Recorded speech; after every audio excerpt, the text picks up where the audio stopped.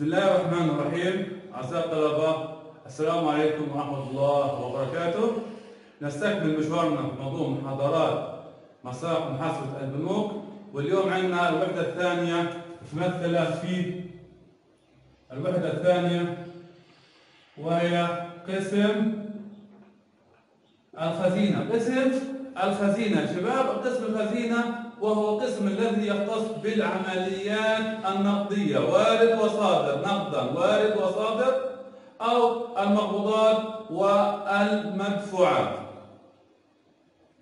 ويعد هذا من أهم الأقسام لأنه يحتوي على أموال نقدية للبنك كويس وتجمع فيه جميع الإيرادات النقدية التي قام العملاء أو الزبائن بإيداعها. طيب. قسم الخزينة. قسم الخزينة يا شباب وهو. قسم يتكون من خزينة رئيسية وخزائن فرعية. خزينة رئيسية وهي الذي التي يؤول إليها جميع العمليات في آخر اليوم. طبعا أنا ليش بقول خزينة رئيسية وخزائن فرعية؟ لأن يا شباب أنا أكون أنا عندي عشان تحقق الأمان من السرقات والاختلاسات ودخول الخزينة الرئيسية فهنا يضطر مدير الخزينة الرئيسية بتكليف أمناء الصناديق بالقيام ببعض المهام المتعلقة بالخزينة الرئيسية. حتى لا يصبح قسم الخزينة الرئيسية في مواجهة الزبائن أو الجمهور مباشرة. لذلك يقوم بتخصيص خزائن فرعية أو صناديق فرعية تتولى بعض المهام الموكلة إليه. وهي مثل خزائن أو صناديق فرعية خاصة بالمقبوضات وصناديق فرعية خاصة بالإيش؟ بالمدفوعات.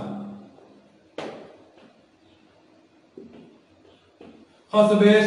بالمدفوعات وممكن نفس الصندوق هو يكون ممكن يكون دفع وقبض تمام هذا بنسميه شباب التلا هذا بنسميه إيش؟ يسمى صندوق أو موظف التلا ماشي الحال؟ طيب فمن خلال الصناديق الفرعية يتم عملية إيش؟ عمليات القبض والصرف عمليات القبض والصرف هنا دور الخزينة الرئيسية دور إشراف على الصناديق الفرعية أخذ والمراقبة وفي آخر اليوم عملية الجد وبعض المهام اللي حنذكرها لاحقا فيما يتعلق بإيش؟ وظائف كل قسم من أقسام أو وظائف كل نوع من أنواع الخزائن. طيب لو قلنا خزينة رئيسية ما هي وظيفتها؟ أول وظيفة الخزائن الرئيسية وهي إيش؟ حفظ الأموال النقدية لديها. تغذية الفروع بالنقد. الحالة الثالثة تغذية الفروع بالنقد واستلام الفائض من الفروع. الحالة الرابعة الثالثة تغذية الصناديق الفرعية باحتياجاتها من النقد خاصة الصندوق الفرعي للمدفوعات. الحالة اللي بعديها استلام المتجمع من الصناديق الفرعية في نهاية اليوم. يعني أنا اليوم صندوق فرعي للمقبوضات قبض مصاري آخر اليوم بقول له بحكي له إيش عندك أموال؟ وردها إلي للخزينة الرئيسية. اليوم قسم مدفوعات. أنا أعطيته مصاري أو غذيته بالأموال. متبقي عنده جزء من المبالغ التي لم يستلمها عمل الزبائن لم يطلبها الزبائن. فهذه الأموال المتبقية حترجع لمين؟ للخزينة الرئيسية. بعد هيك تنظيم المعالجات المحاسبية المتعلقة بالعمليات اللي تمت في الخزائن الفرعية والخزائن والخزينة الرئيسية نفسها. يعني في عندي المعالجات المحاسبية أو الدفتر اليومية الدفتر اليومية العام يسجل فيه جميع العمليات التي تمت. سواء كان الخزينة الرئيسية نفسها أو في الخزائن إيش؟ الفرعية. عشان هيك يا شباب لما أنا أجي بسجل هتلاحظوا انه أنا بسجل باسم الخزينة الرئيسية. طب الفرعي الفرعي هي خزائن مساعدة. في آخر اليوم في هنا مستندات سوف يتم رفع المستندات إلى الخزينة إلى مدير الخزينة الرئيسية اللي حيقوم بدوره بعمل قيود يومية عامة أو مركزية إجمالية. تمام هيك؟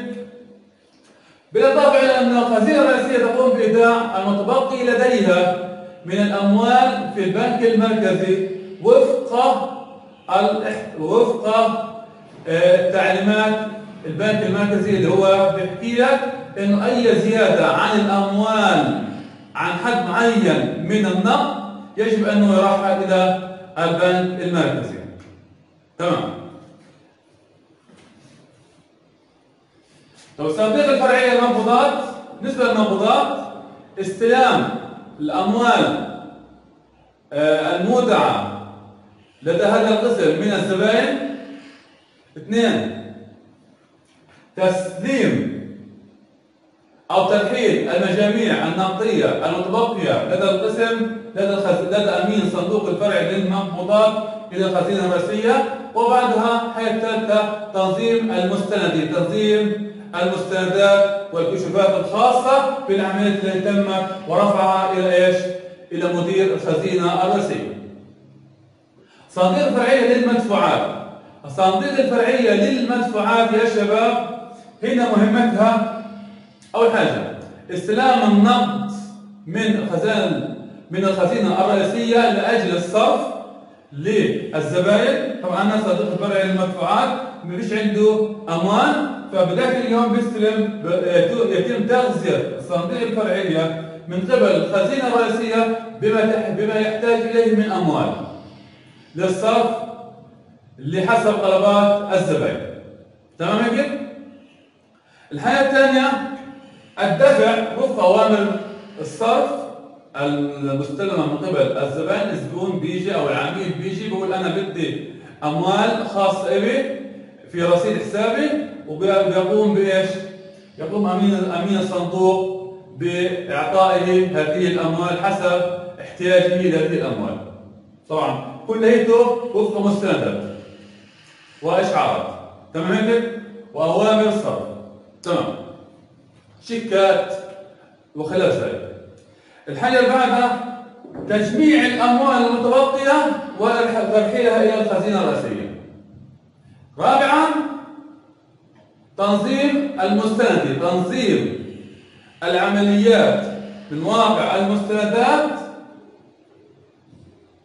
ورفعها إلى مدير الخزينة الرئيسية طيب أنا يا شباب عندي المعالجات المحاسبية.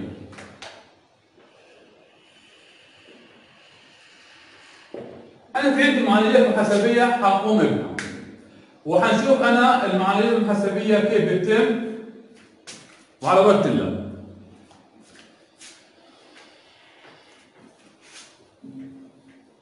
إذا يا شباب تلاحظوا لما أنا بعمل قيود محاسبية بعملها من بعملها من وجهة نظر مدير أو من خلال قسم الخزينه الرئيسيه ماليش الفروع.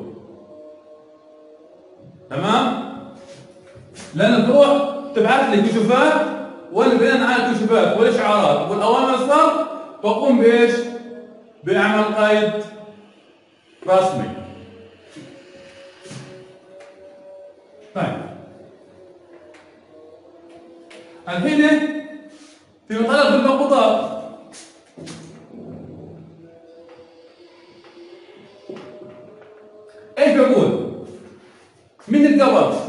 خزينة. إذا بقول من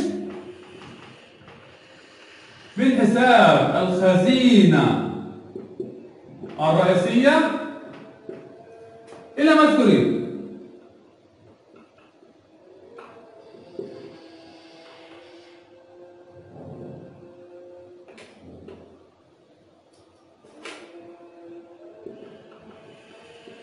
إلى مفرد حسابات جارية.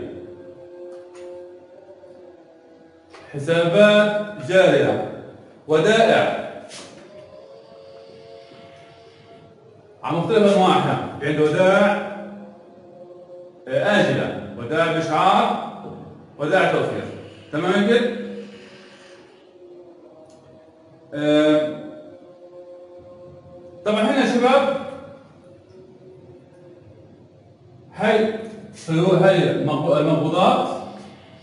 وفي أنا عندي لو أنا بدي أشرح مقبوضات المبالغ يتم قبضها اللي هي المبالغ من العملاء. هاي بحسابات حسابات جاريه جانبيا دائمه بين قوسين العملاء. ودائع. ودائع آجلة. ودائع توفير. ودائع إشعار هنتكلم عنها الثلاثة قدر الإمكان.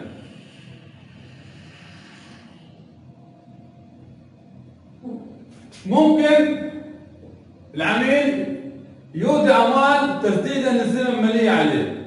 برضه حنستلم منه. وحنشوف كل الكلام هذا من خلال إيش؟ القيود المحاسبية. تأمينات. تمام. طيب.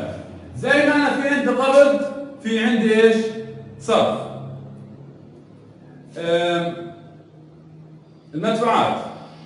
ممكن أنا قسم أمين أمين الصندوق يقوم بالدفع. أمين الصندوق الفرعي اللي هو تبع الخاص بالمدفوعات يقوم بدفع قيمة الشيك المقدم للصرف. مقدم للصرف. تمام كيف؟ فحتلاحظ القيد هنا عند القبض هنقول من حساب عند الصرف هنقول إلى حساب الخزينه الرئيسيه ومن حساب مذكورين حساب مين؟ حساب مين؟ حساب حسابات جارية ممكن المودع خلص الودائع بتاعته ويقوم يحتاج يقوم بالسحب إلى الحساب ودائع إيش في كمان عندي؟ تأمينات مستردة تأمينات مستردة واحد استرد التأمين تبعه تمام هيك؟ تمام في. هاي صورة عامة الحين في الكتاب بحكي لي بعض القيود بدنا نشوفها كمان حتى إيش نكمل اطول القيود. طيب. في الكتاب بحكي لي في أنا عندي قيود حنشرحها ونشوف بالتمام كيف بتتم. وحنطبق عملي على كل القيود اللي أنا ذكرتها. في عندي يا شباب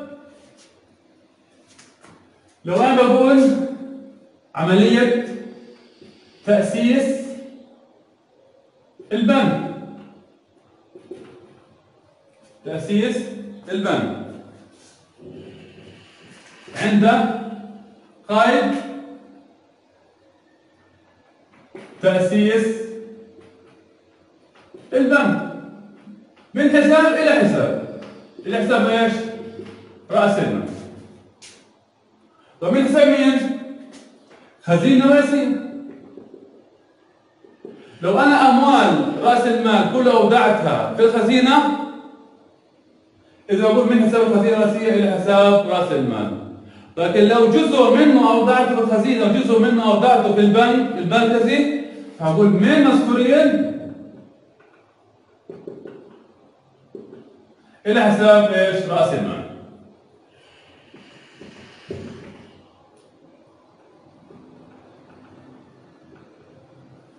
تمام؟ طيب تمام. آه تحويل جزء من النقدية إلى البنك المركزي. إيش حقول؟ من حساب البنك المركزي الآخر والعاقل مين؟ خزينة رئيسية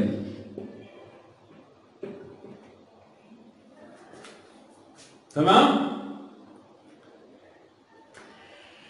إيداع هنا تحويل إيداع أو تحويل تمام؟ تمام.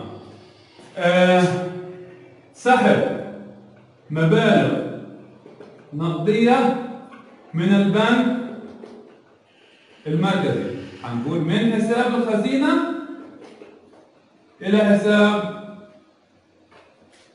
البنك المركزي. تمام. في كمان؟ آه في كمان. تحكي لي تغذية الصناديق الفرعية. تغذية الصناديق الفرعية. تغذية الصناديق الصناديق الفرعية بدها أموال خاصة صندوق الفرع خاص بالمدفوعات. فحنقول من حساب صندوق الفرع مدفوعات.